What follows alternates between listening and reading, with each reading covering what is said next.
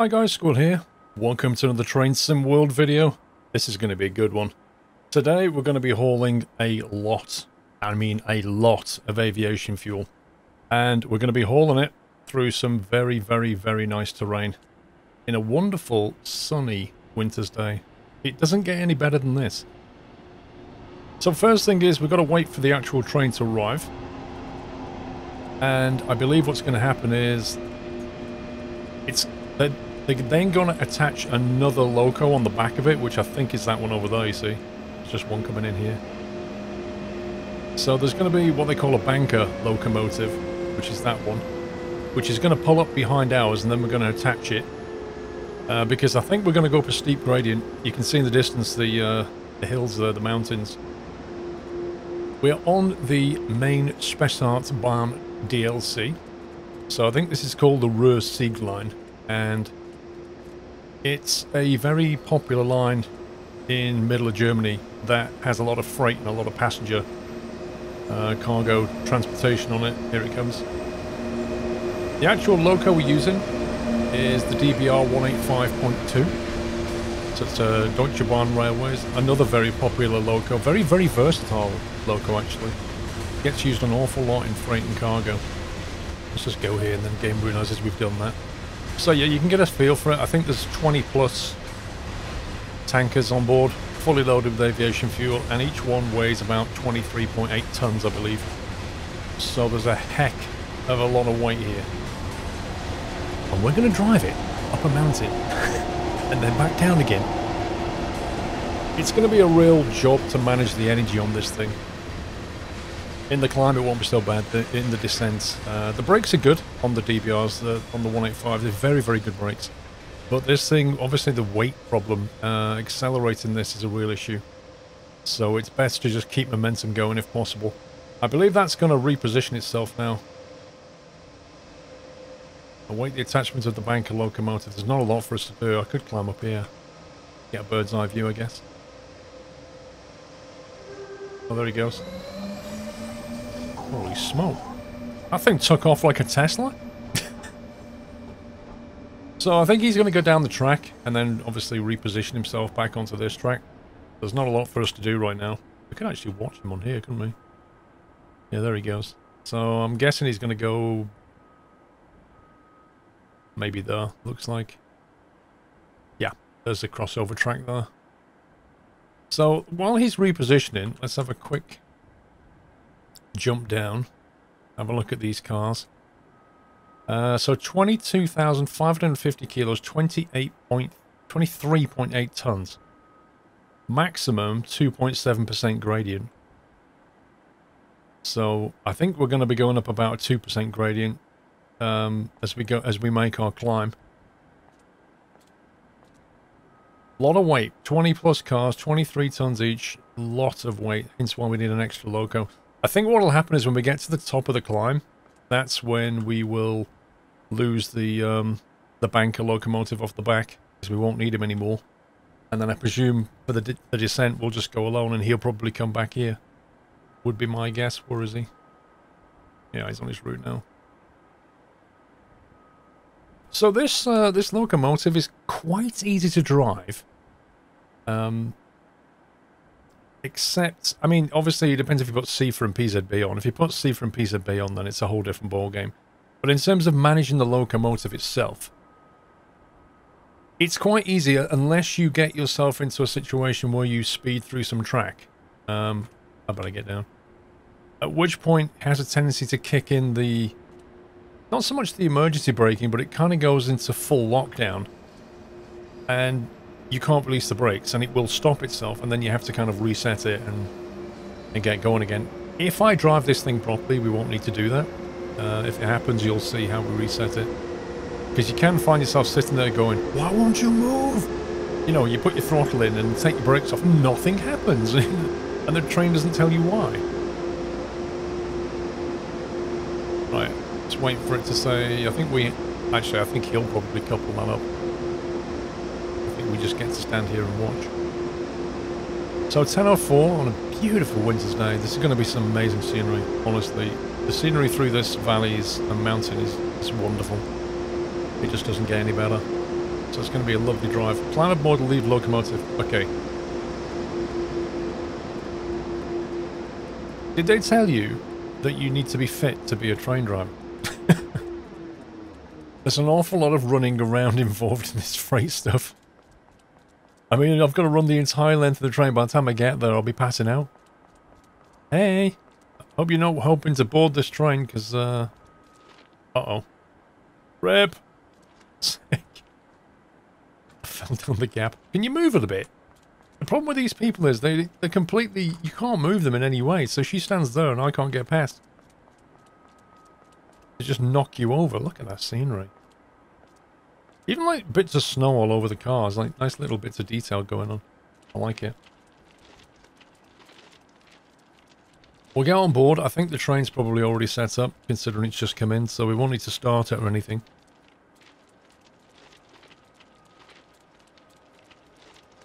Blimey, it's a long run. Too much snow on those trees.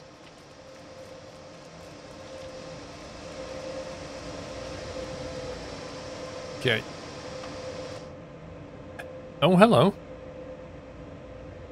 Wait, that's a very casual attire.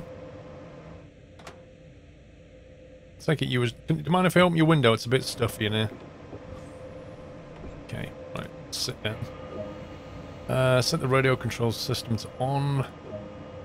Release the brakes department ready. Okay, yeah, everything's been set up. So briefly, I'm going to turn the cab light off because it's too bright otherwise we don't need it.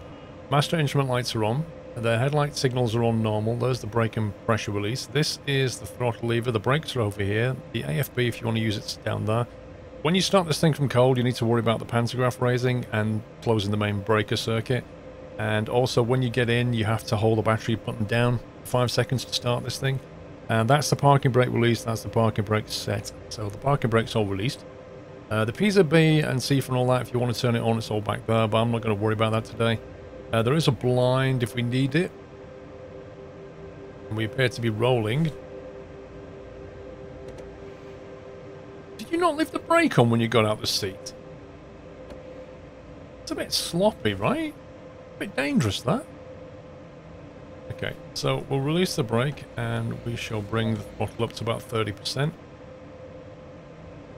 Now, what we're looking for is tractive effort here, which is not happening right now. It's part of this, well, the wonder of this train. Release the brake. Bottle coming in.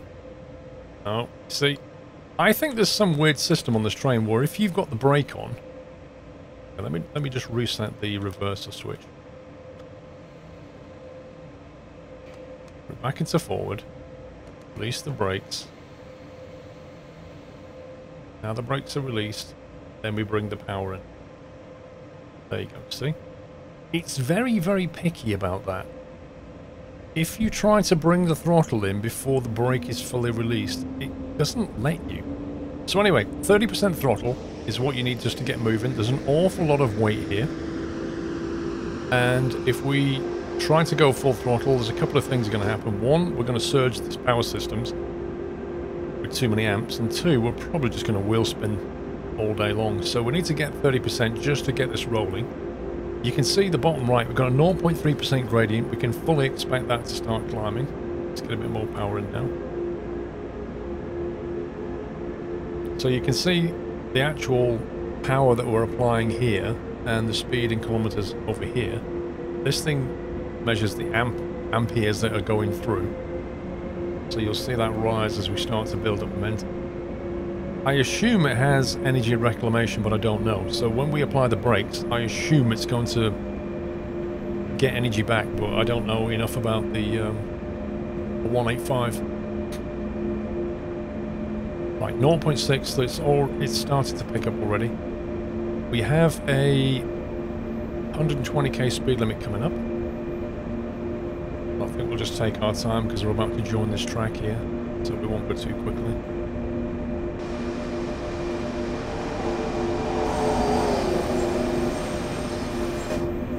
But yeah, you can expect some passenger trains on this line and lots of fantastic scenery. 1.1% gradient, this thing's building. Let's keep the momentum going.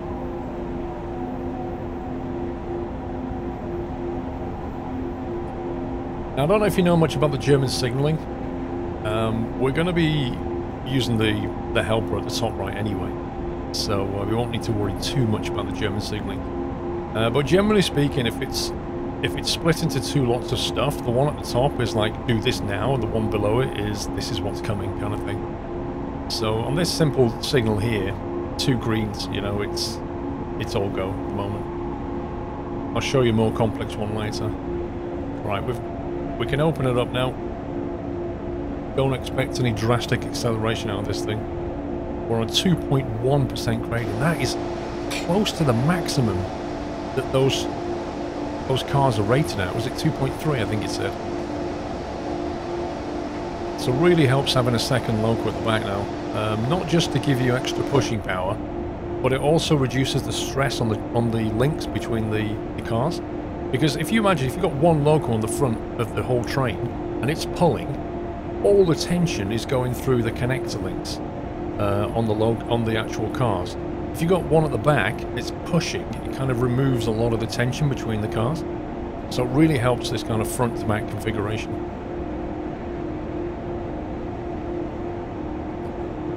Now this DBR Light 5 is part of a family of trains that they nicknamed TRAXX, T-R-A-X-X. And TRAXX stands for, get this, transnational railway applications with extreme flexibility. I don't know how they can make this up. Like, they've managed to use the letter X in an acronym that stands for flexibility. what it basically means is this thing goes about 160k maximum, uh, designed for medium freight, but also holds passengers over varying terrain. It's a very flexible loco which is one of the reasons why I think it's so popular. Quite easy to drive and does a multitude of things. Very recognisable as well, aren't they? They're all the Deutsche Bahn stuff is just red. Very recognisable. Okay, so another simple signal there, two greens on the aspect. And if we have a look at the job list, as it were, so uh, we've got to stop at the Heigenbrücken, which is down here, 4.5 kilometres away. We'll have a look at that in a second on the map. Then we're going to be uncoupling some vehicles. Uh, the rear locomotive is going to come off, uh, because obviously that must be the top of climb, I guess. Then we're going to stop at the Lohr Bahnhof. Uncouple the rear five tanks, so obviously we're doing a drop. And then we're going to go and see the driver exchange who's going to carry on with the journey. Personally, I would like it if the scenario allowed you to automatically continue into the next scenario, that, which would allow you to do the rest of the journey. I think they should tend to do more of that. I think they should split those scenarios into multi-step, and then you can do each step, or you can do all the steps consecutively. So I can, if I want to, not finish here and carry on and do the rest of it. I think that would be a better way to go.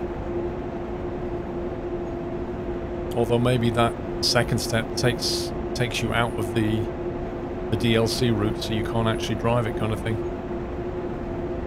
Who knows? Anyway, let's have a quick look at the map. So we are here. We started back here somewhere. So we're going to be making this climb up here. I think there's a tunnel section there. Yep. And as we come out the tunnel, uh, we are going to be changing track. Going into one of the loco freight sidings here because the two centre ones are probably the main straight through track. Then I think we're stopping there. That's where we're going to uncouple the banksman and then we're going to carry on and then I think this is all the big descents. I'm not sure where we're going. I think our destination's here somewhere ultimately. So it's quite a long drive. But there are a few things that we need to watch out for. Okay, so th this is the more complex one. So that's now that's next is green, and next is a 70 kilometer uh, speed limit going to get applied.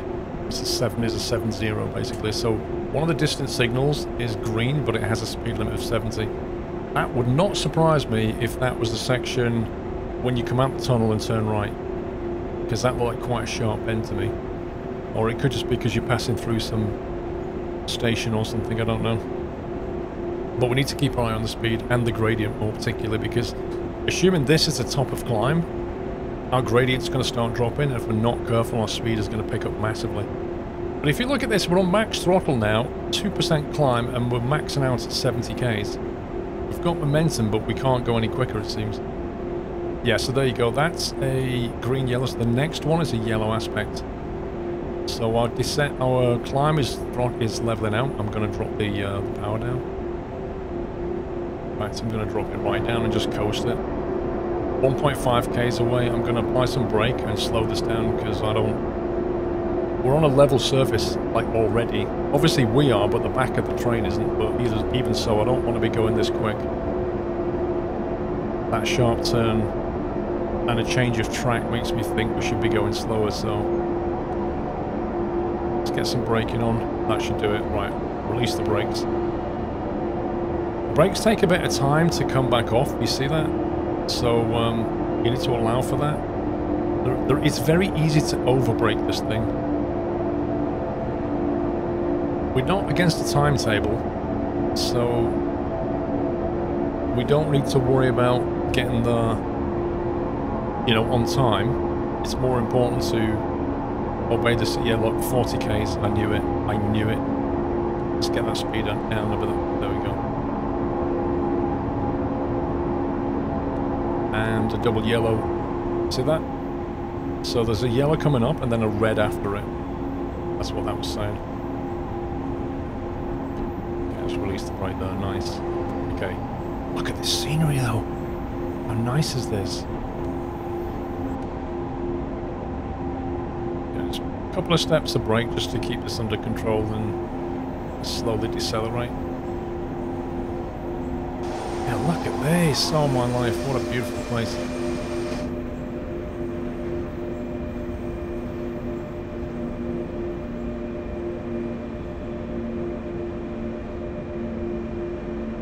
Lovely. Right, let's release the brakes and see if we can just coast in now.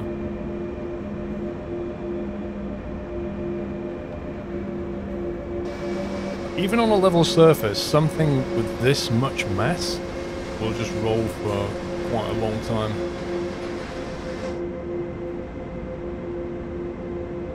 Yeah, there's the there's the over braking I told you about. but I don't mind. I'd rather be I'd rather be safe than sorry kind of thing. I'd rather slow down a bit too much than not enough. Let's have a look at this while we're uh, cruising here. I can imagine this place in winter being dark, windy, covered in snow, and absolutely freezing cold and horrendous. But right now, this looks amazing, doesn't it?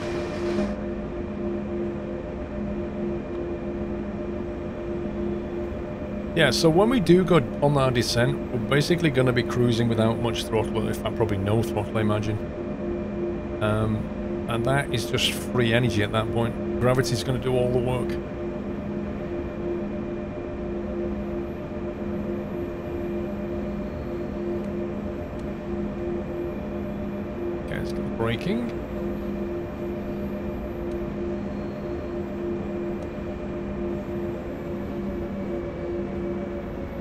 Should do it.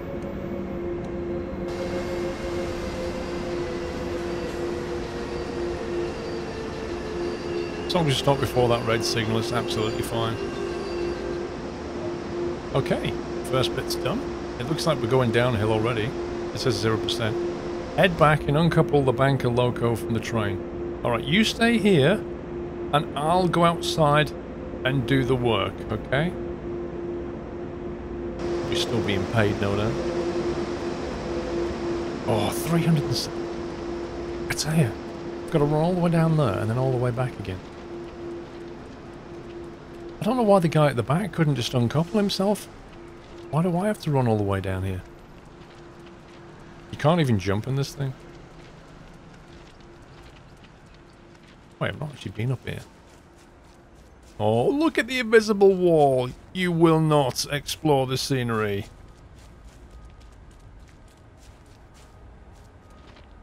Looks a bit floaty.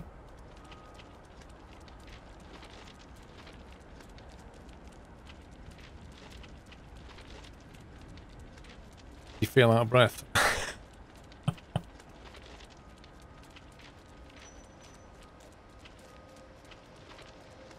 50, 40, 30, 20. Retard, retard. Sorry, David. Right. Actually, it was Boeing. Um. Okay. Oh, there's no driver in there. Okay, that's why we had to do it. I, I incorrectly assumed that somebody would be sat in that locomotive because I'm sure somebody needs to move that now. I thought it would be driven back. That's why we had to do it. Talk amongst yourselves. oh no, I've only got 16 kilometers to run. Hang on. Okay, we'll carry on.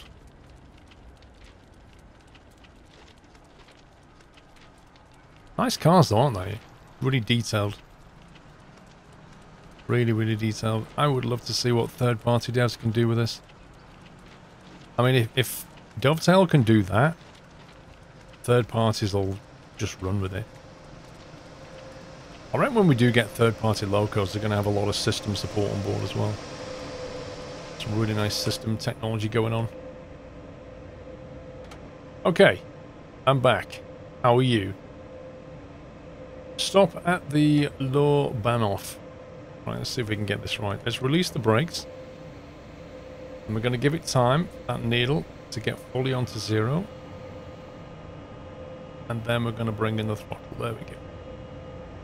So I think the trick is when you release the brakes, if you notice it's on like a negative here, and then that needle comes to zero.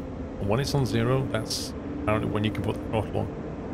Now, we've only got one loco now, so we may need a bit more than 30% to get this moving. We'll see. You can hear the power building.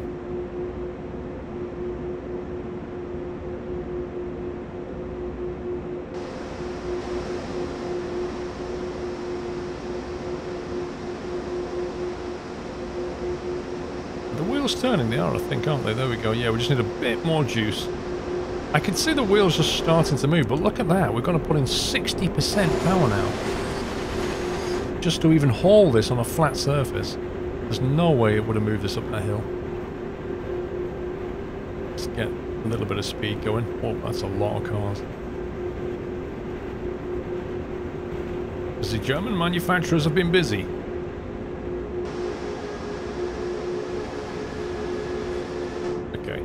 Tell you what, there's a lot of traffic on the road.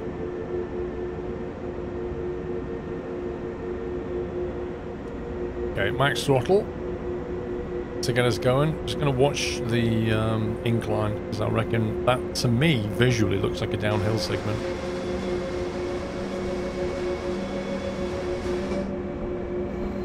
I'm guessing it's 40 on the track change.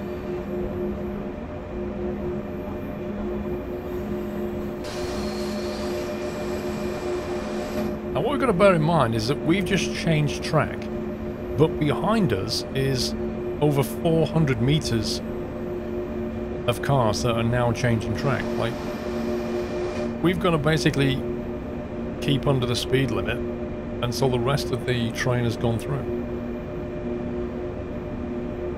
I'm just to pull it back a bit here. Maybe just coast it actually. Let's just coast it through there.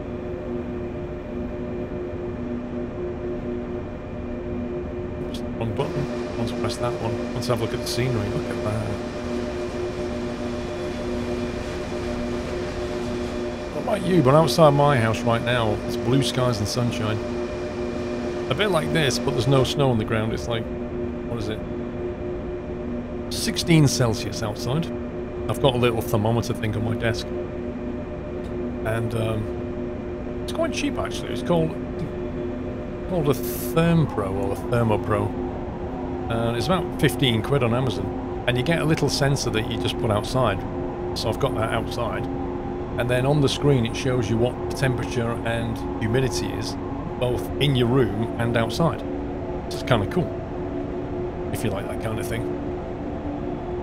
I actually got it during the um, Amazon Christmas sale, I think it was like, oh no, the Black Friday, that was it. I got it during Black Friday week was on quite a discount, and I looked at it and I thought, 15 quid for that? Yeah,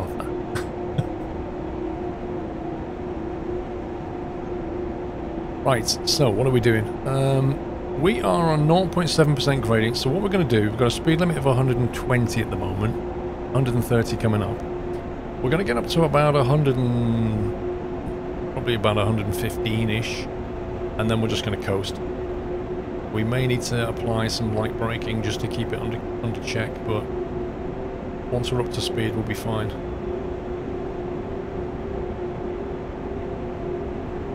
Yeah, I was right. That is the destination.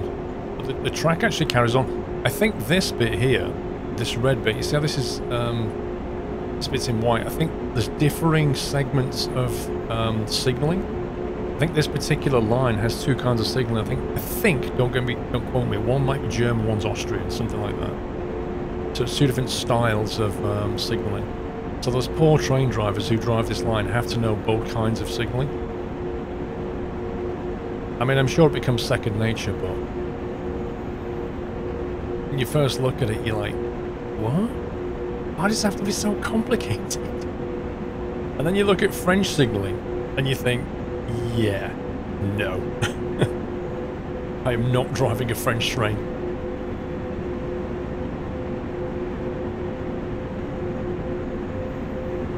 Okay, I think 110, that's enough. I'll do. Put that on to uh, off now, just coast. Very common on, on trains like this to just coast it. There's no point using energy when gravity will do it all for you anyway. Oh look. Passenger car. I've been on one of those. A double decker, they're really cool. It see our speed already is starting to um, accelerate towards the speed limit. We've got 120 limit coming, so I'm just going to apply some brake to keep it under control. Looking at that trend line above our speed though, trying to keep that in the middle really.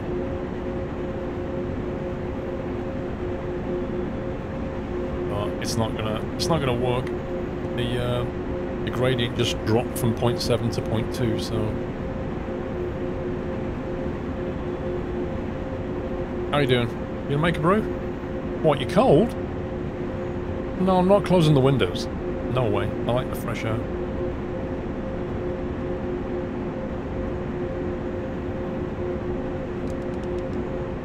You could do that if you want the blind a little bit like that, say.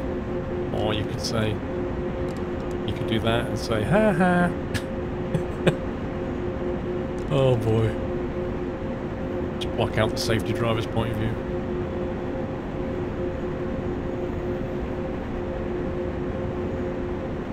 Let's see if we can spot some signalling uh, to show you something more interesting. They're just effectively like repeater type things.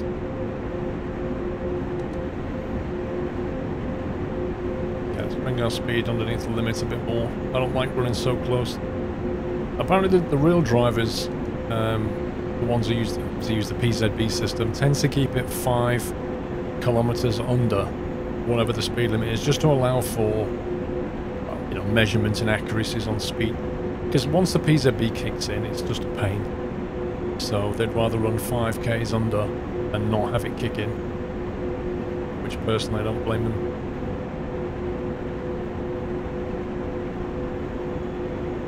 But yeah, we're just going to keep our eye on the signals and see what they're doing. And also the gradient. Like, it can catch you out, the gradient in particular, because already if you see, it went from 0.3 to 0.5, and that just, you know, if you're driving this for real, you might start to feel it. I don't know. You might feel the extra gravity, maybe. But certainly when you're in this, you can't feel it. You just have to monitor the speed. Just release that.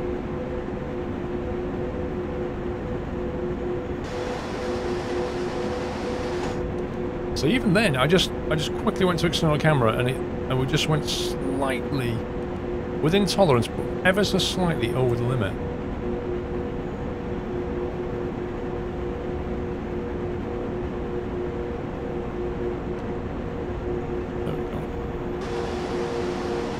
Oh yeah, look at these valleys. Fantastic.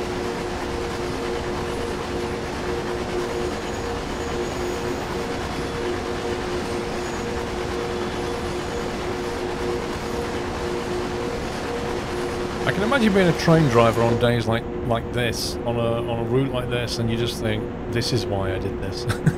this is why I became a train driver. For days like this.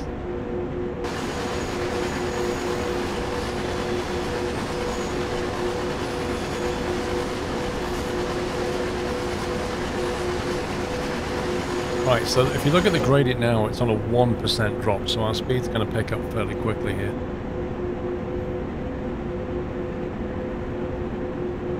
All the time, no throttle. Yeah, so just start getting some very light braking on. Just in case there's some kind of signalling change. At the moment we've got a 2k run before the next signal block.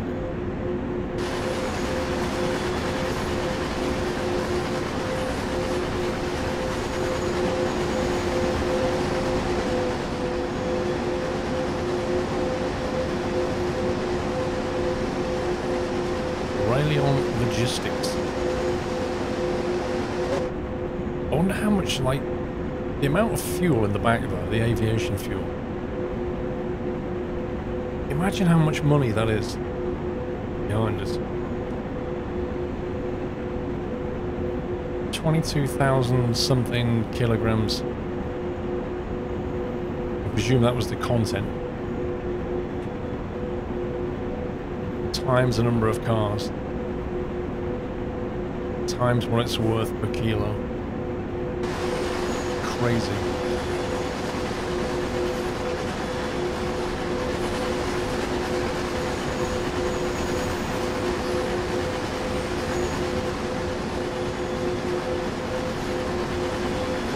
Quite a lot of detail in these sceneries.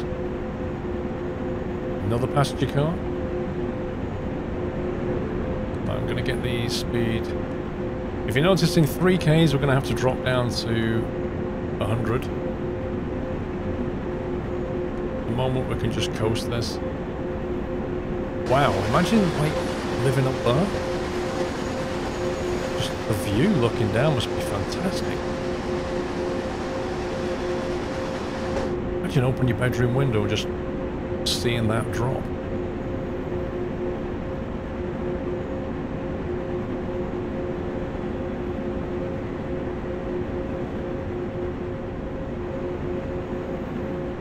You alright?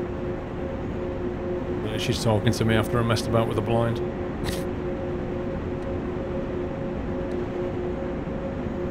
right, starting to get some braking. We need to get our speed down to 100 now.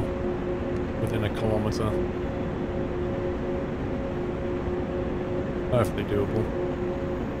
Then 4.3k to the destination. Let's have a look what the next thing was. We need to stop and then we're going to take the five tankers off the back.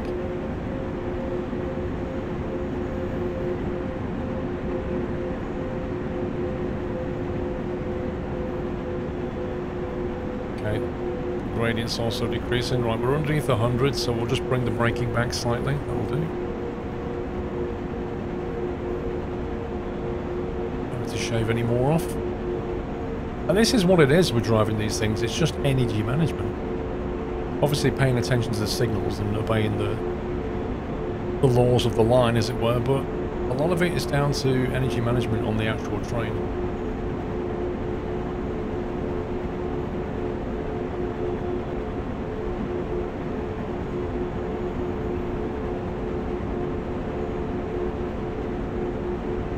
Let's have a quick look at this. Now this looks like quite a busy station. I'm gonna, yeah, we're gonna be changing track here, so well before then, I want to be down to like 50 on that. As we're turning left, I want to get the speed down to about 50, I think. In anticipation of a track change and a full stop.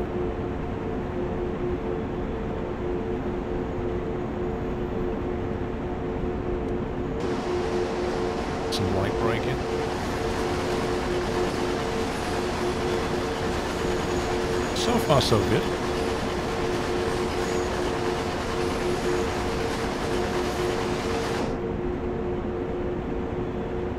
Yeah, it doesn't have energy reclamation. I've just noticed this. You see how it's in the yellow, negative? It says minus 35 amps. It's actually reclaiming the energy coming downhill. That's so cool. Right, believe this is the left turn. Yeah. So I'm just going to start applying the brake now and um, getting this under control.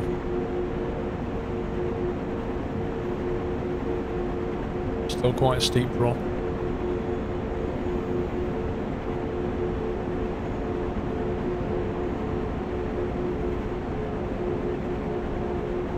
Eighty. We're getting no information about a speed drop at the moment, if you notice. it just says 150 k's in 2.7, but because we're going to have to do a track change, you know that that's not true. Okay, that's enough.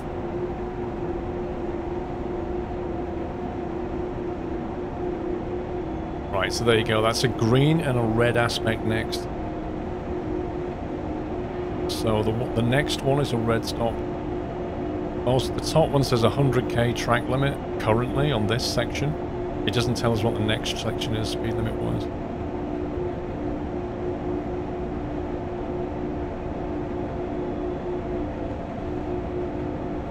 Yeah, I feel comfortable doing 45 through here.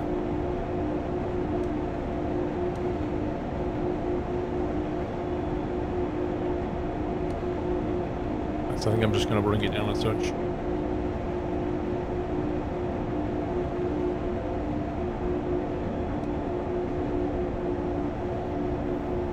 There you go. There's the track change.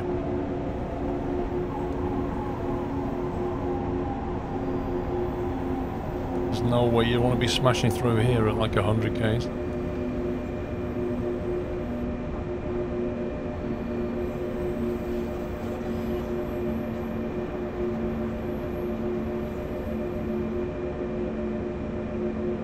Yeah, overbraked it again. Definitely takes a bit of practice and experience to get that right. As the speed comes down, it, it starts to accelerate the speed coming down. And it catches you out a lot.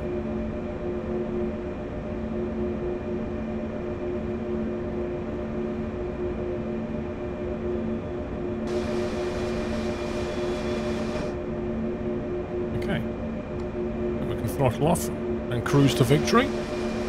Lohr Bahnhof, this is our destination. I think we've got to detach five cars now and then check in with some driver somewhere. That's a nice little run. Really enjoyed that. Lovely scenery.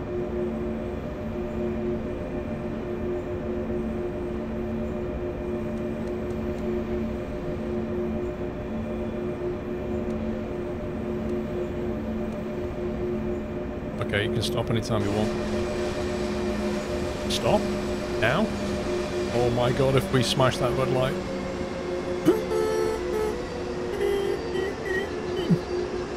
Yikes, that didn't want to stop. I had visions of smacking that red light and failing the whole thing.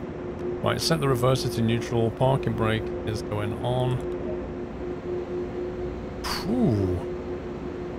Um, some of the shipments is, is destined for local industry. Head back and uncouple the rear five tankers. Right, I might not see you again, so uh, nice chatting with you. Enjoy the rest of your journey and have a nice day. Miserable woman.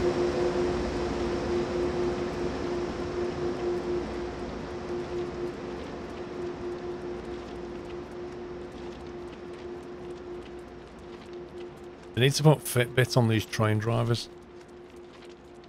See how many steps a day they're doing doing this.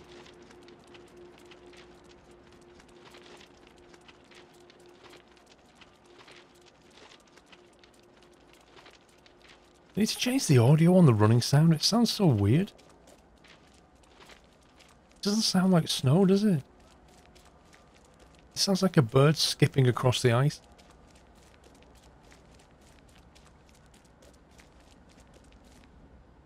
Right, there's the one. Uncouple those five. Exchange with the onward driver. Um, okay. I'm going to go this way. Looks safe. Don't mind me, I'm allowed to do this. And there's a problem. How do we get on the platform? Um, you can't climb or jump in this game. Can we get up here? There we go. Yay! Um, that's a bit of a group hug thing going on there. we'll not talk about that. I've not seen you for ages.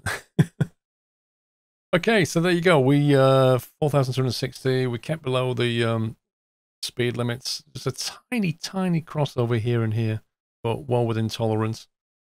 Got a bunch of points. So that was, in case you're looking for this, go back to the main menu and you can see which scenario that was. So that's the Main-Spessart Bahn is the DLC, and it was that one, the fuel exchange one that we just gold medaled. Take part in a huge shipment of aviation fuel heading east. So that was the, the line we did, the BR185.2. That's been Train Sim World. Hope you've enjoyed that video. Take care, guys. Give me a thumbs up if you enjoyed it. Happy training.